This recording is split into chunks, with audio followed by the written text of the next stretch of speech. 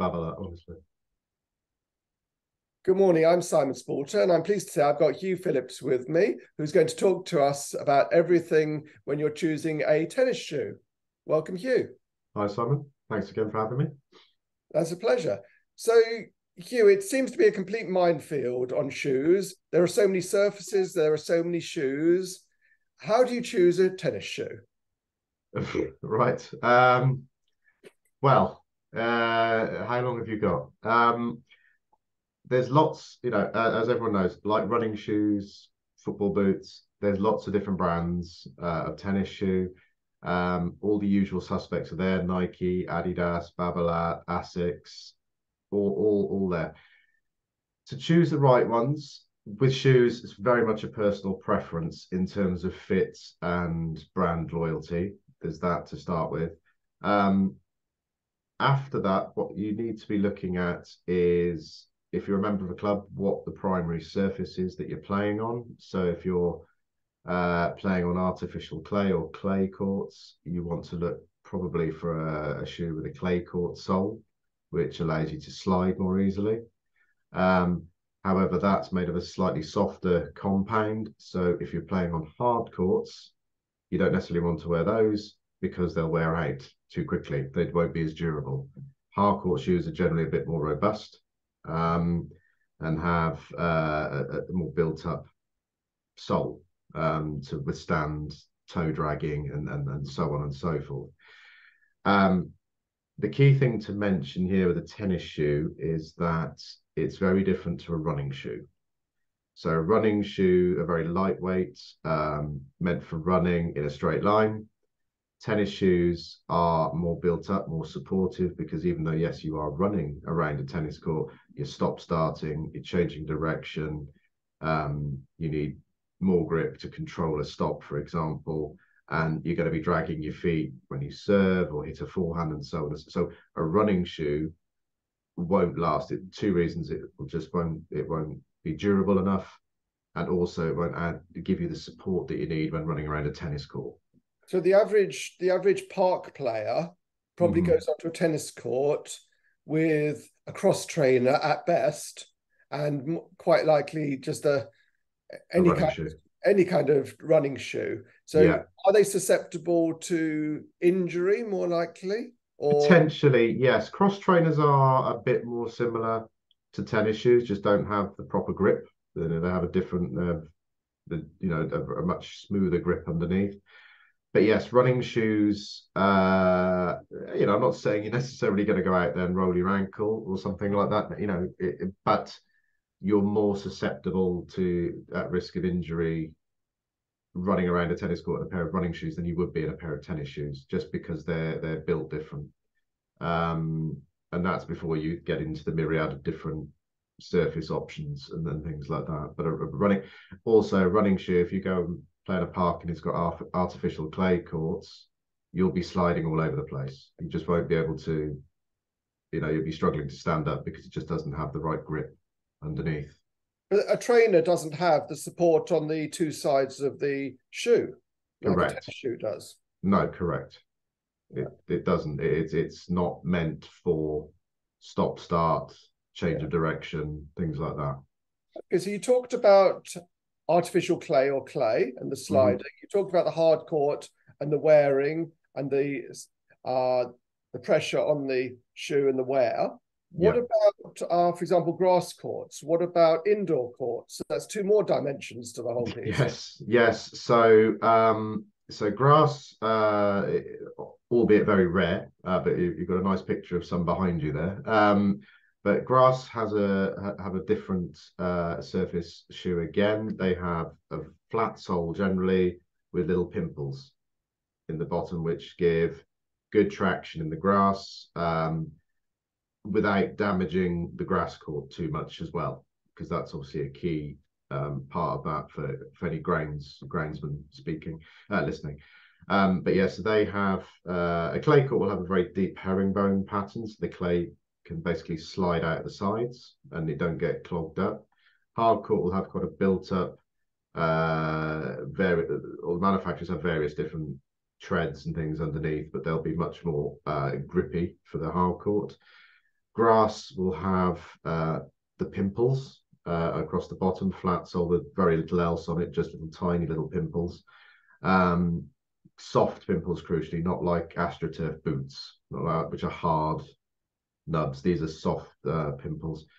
Indoor shoes, the classic indoor shoe, um, quite popular in Europe, uh, will have no sole whatsoever.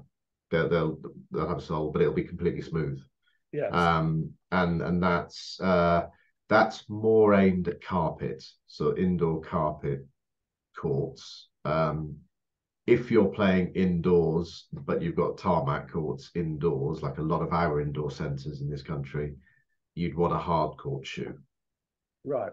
Rather than an in because they're actually an outdoor court indoors, if that makes sense.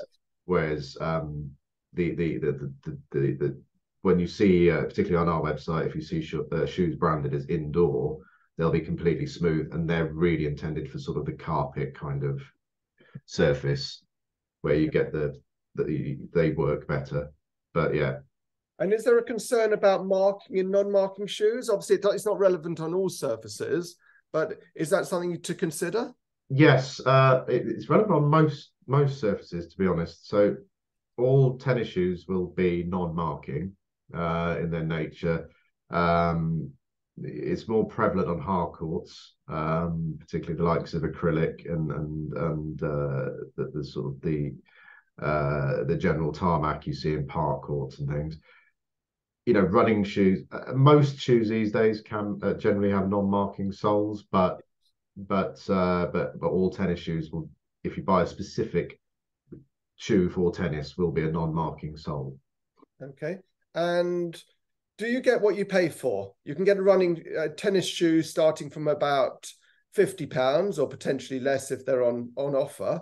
But you can yeah. also spend up to one hundred and fifty pounds for a tennis shoe, and uh, more than that in some instances as well. Right. Um, yes, uh, I I would. It, it's like most things. Um, if if you're a um, you know, if you play once a week in a park with friends, um, socially, I would say probably, unless you really want to, you don't need to buy uh, the latest Nike Vapor at 170 pounds.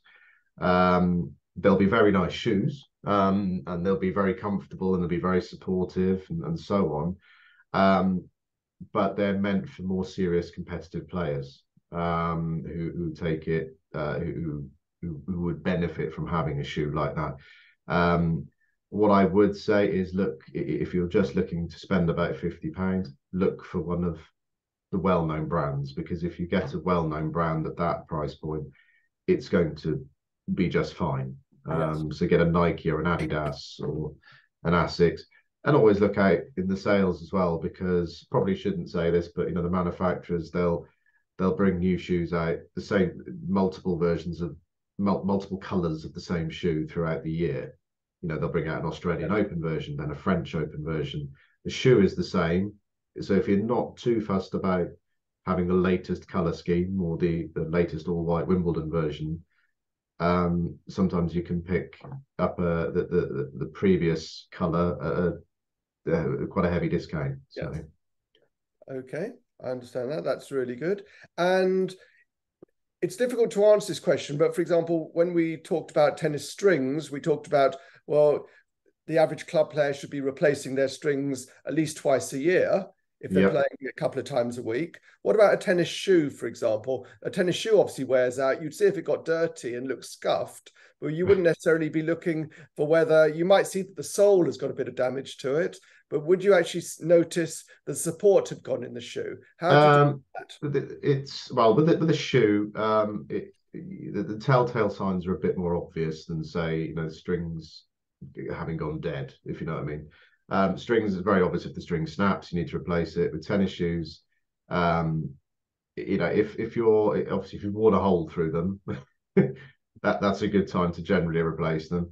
Um, but if there's nothing visible in terms of that, look at the the the, the undersole and look at the grip. And if you're starting to find that the tread has worn smooth, um, because that can, that's probably the first thing, unless you're a very heavy uh, heavy on the other parts of the shoes, wearing out the, the uppers and things like that. If I'm talking about me personally, I rarely sort of wear a hole through the top of the shoe.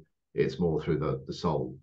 So, and you can look through there, you know, you can have the most, you know, if you've worn them for a long time and you're playing on a hard court, that tread that you've had there will eventually start to lose. You know, it will, it will, a bit like tires on a car. Eventually, the tread will will reduce, and you'll have, you know, if you've had a very um, obvious herringbone pattern on the shoe, for example, to start with, you can quickly tell that that's worn smooth and it's yeah. no longer deep. It's now virtually flat. That's a good time. That's when you're not then getting the optimum traction on a on a shoe. But there's no there's no hard and fast. You know, you shouldn't change them every six months or something like that. Look at them and see what they they look like. A bit like your tires. You know, if if you're playing two or three times a week, it'll be quite obvious you're wearing down the the, the tread underneath and just like you would do with any other shoe. Okay. Thank you very much, Huw, for your time all about tennis shoes. And we look forward to seeing you again soon. No problem. Look forward to it. Thanks, Son.